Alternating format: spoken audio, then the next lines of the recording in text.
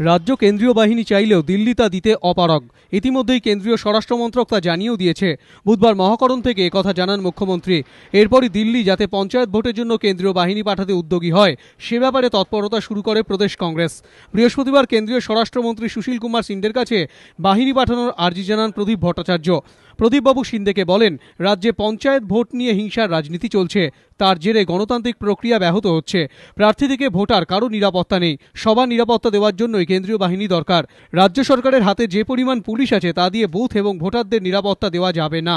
রাজ্যের পঞ্চায়েত ভোটকে বিশেষ গুরুত্ব দিয়ে কেন্দ্রীয় বাহিনী পাঠানোর ব্যবস্থা করুন। কেন্দ্রীয় স্বরাষ্ট্রমন্ত্রী সিন্দে প্রদীপকে বলেন বিষয়টি নজরে আছে, দেখছি।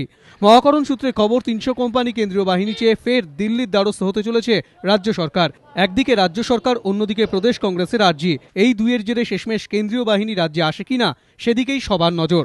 আশাবুল হোসেন এবিপি আনন্দ, কলকাতা।